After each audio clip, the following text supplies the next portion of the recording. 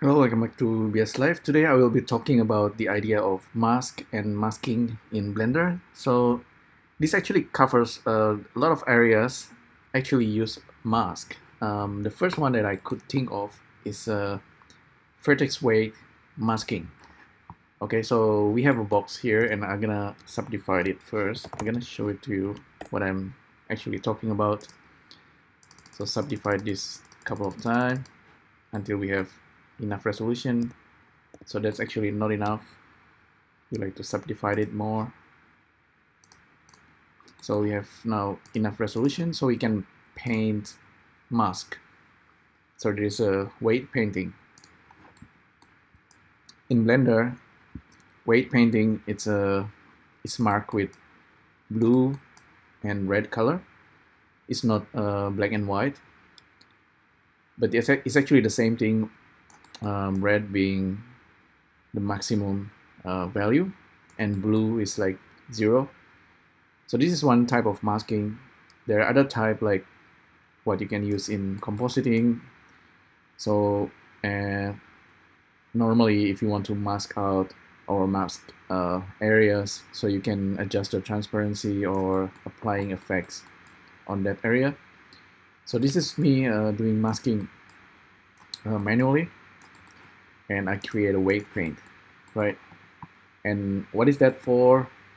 Well, a lot of things. For example, the, the, the most obvious one is displacing. Here I'm displacing the box, of course, and I can displace it using noise. And if I want to mask it out, I can use this vertex group. So the thing that we painted before, it's uh, now it's mask and you can switch the mask. You can invert it very very quickly and easily. So that's uh, one type of mask. We can also use um, there's a mask modifier. Actually it will do that. And you can invert it. So it masks out the area. And I've done this in the past. It's actually quite interesting that you can smooth this so not too much but uh, yeah you get the idea. You can smooth out areas. So you have this nice edge. And apparently this is actually something that transfers into sculpting especially in Blender 2.83 so I'm using Blender 2.83 it's still beta. But it's already performing pretty good. So what I mean is that so if not I duplicate this guy and yeah I I want to do use sculpting. So sculpt mode actually have its own ways to do the masking. I always found masking is uh, very powerful. It's not the easiest idea to use. And um, in fact uh, see there's this one tool that's dealing with masking. Of course, you're painting areas, and if you after you paint the areas, then if you do brush, it will mask out that mask area, so you can't do the sculpting on the the black part. You can only paint on the white part, the one that that's not being masked. So that's actually really powerful, right? Um, so you can look have a look at mask tool and all these mask uh, things like you can blur the mask I think extract the mask a lot of things. There is uh, also one thing there's new something new is a draw face set. I'm really interested with this one.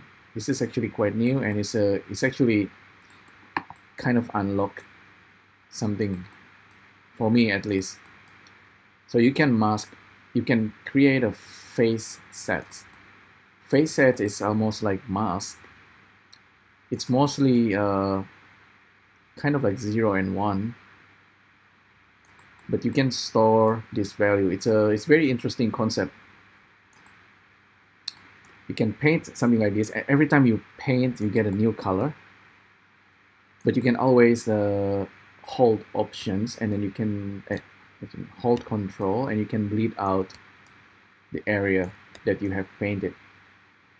So this is kind of you uh, marking the, the areas of uh, mesh that you want to sculpt later. The cool thing about this is that you can also smooth out the area.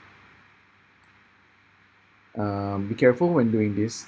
Don't put this strength at 1 just reduce it a little bit. So now if you start holding shift and paint around the area it's gonna start to fix the, the topology the area between those two areas. So there's kind of like there's a smooth division. I think this is pretty cool as well. And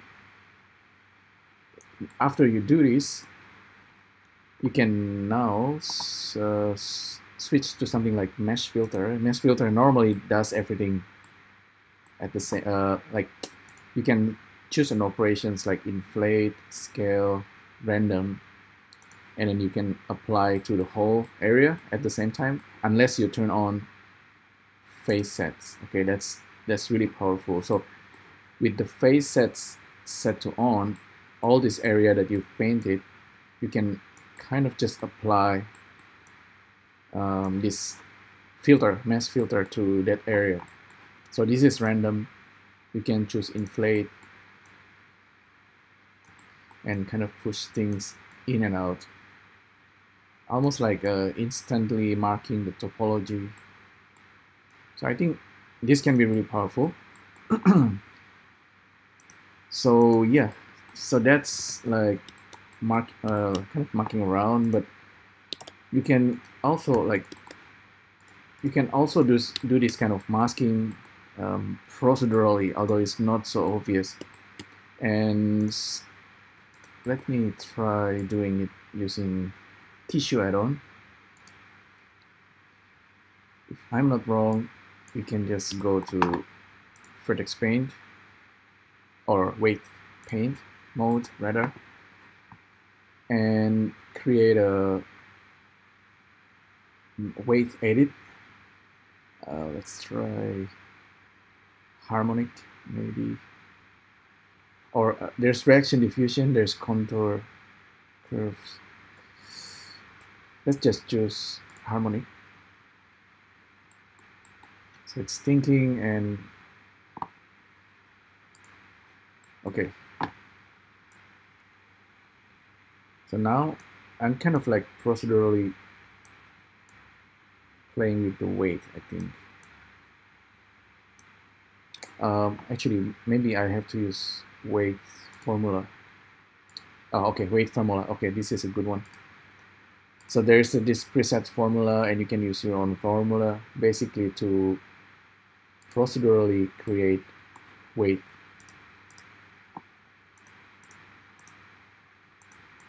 uh, it's not okay this one is interesting right? Suddenly you have stripes and this is procedural and you can you can perhaps use your own value. Uh, let me try. Multiply this with F1 so we have this slider. So this add-on was made created by Alessandro Zomparelli for his tissue add-on uh, but I think this feature is really powerful. So suddenly now you can displace based on that value. Okay so that's using tissue add-on there's one more thing. There's one more thing. There's always another ideas. Using Sverchok nodes so Sverchok nodes and box. Mesh. I'm gonna output a box. So this box I'll increase the resolutions maybe subdivide it 10 times. Uh, we have 1000 face now. Not enough maybe 15 by 15 by 15 20 times okay well I think that's should be okay. So we have this box and we want to generate vertex weight uh, procedurally. Or actually we can actually create masking for material index as well because that's interesting and because this material index can directly connect to Blender sculpting. So there's a lot of things here I'm talking about. Is uh, all over the place, but it's really quite interesting I found. So vertex weight. So Sverchok have this vertex group weighting. So you can plug in objects and then you can provide it with weight. So this weight is like vertex weight, vertex weight paint in Blender. So from this box that I subdivided many times, we can use vector noise, plug in the vertices, and the output can be scalar, and this noise can go into the weight.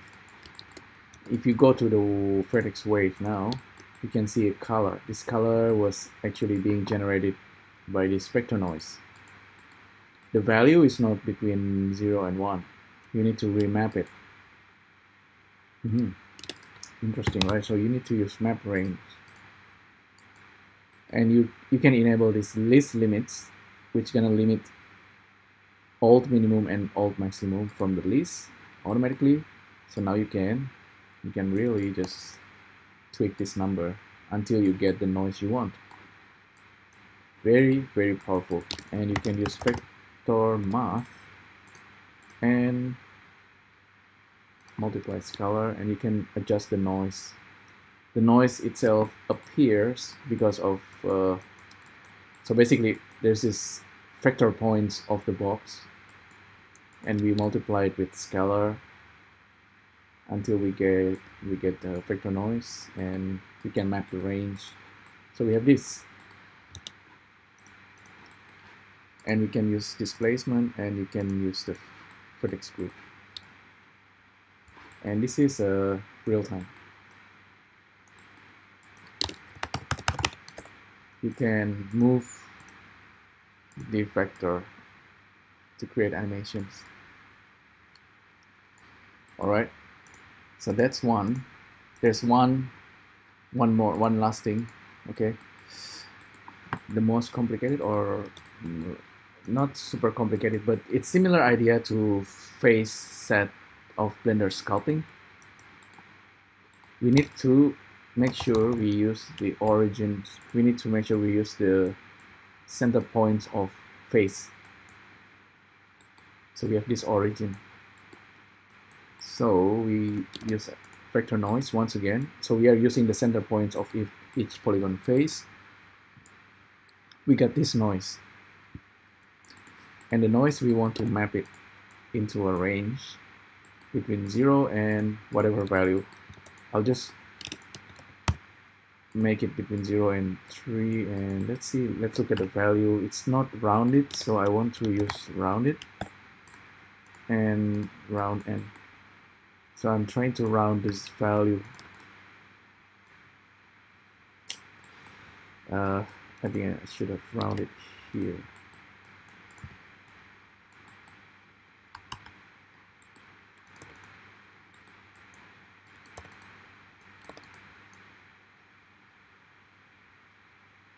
Or maybe instead of round I should uh, just floor it.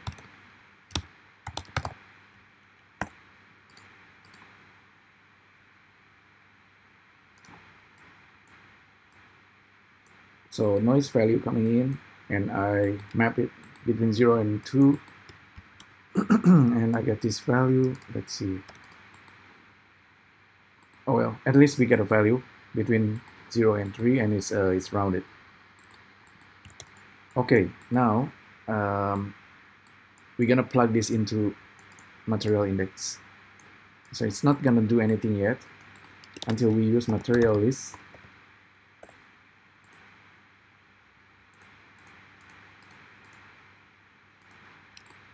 And this is something funky that Sverchok actually provide us let's create a couple of different materials in different colors so it's obvious. Okay so three different materials. We're gonna assign it here. And I'm gonna plug this into the objects. And if we do it properly suddenly we have that. How interesting. That looks like uh, face set. Blender sculpting right? So Sverchok does this in real time. It's procedurally coloring areas of face with different material. Now if we duplicate this and we go to sculpt mode we go to face sets and then we initialize the face sets based on materials. So what's gonna happen is that I believe we have made this area. Did I do it properly? Or I, I didn't select this did I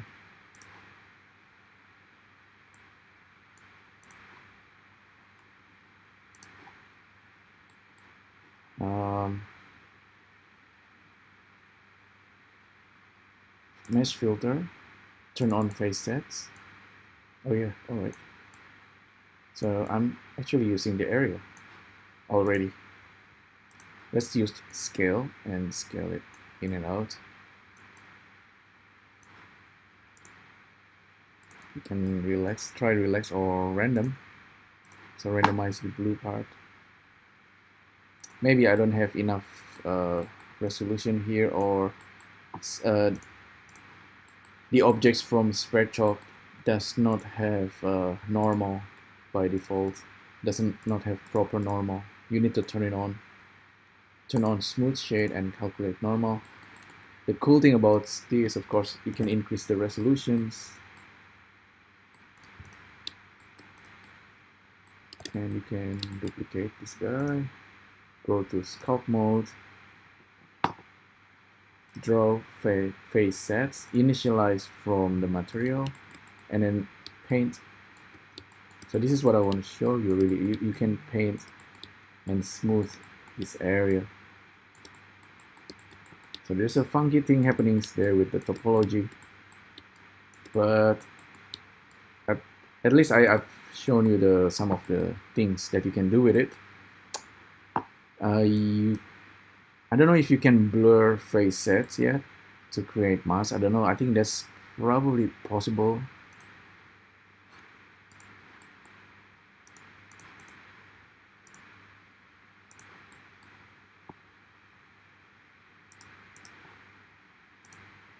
Visualize for material. Oh, we cannot see the color here. Interesting.